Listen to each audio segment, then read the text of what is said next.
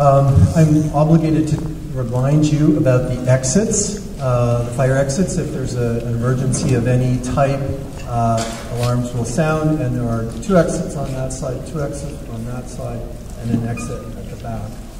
Uh, so just just to, so everybody can uh, check out their surroundings uh, before the meeting starts. Uh, if you do need to use the washroom at all, you go out that door, turn right, down the hall and through the doors, and then the washrooms are on your left. So just just so that's um, uh, understood to you.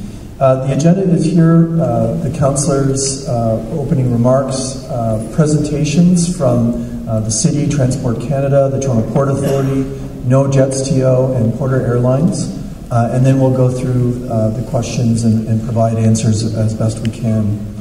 Um, this is a very sensitive topic for a lot of people.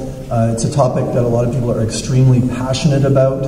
Uh, our ask to you is that we have a good Canadian discussion, a good Canadian debate about the issues. Uh, we would ask that you would uh, allow people to finish their, uh, their comments uh, and that you would not interrupt people. And uh, we will be standing up and, um, and um, stopping proceedings from time to time if things are, are getting out of hand. We need to be fair to everyone, give everyone uh, their chance to uh, have their say, uh, and, um, uh, and then let, let, let people decide for themselves.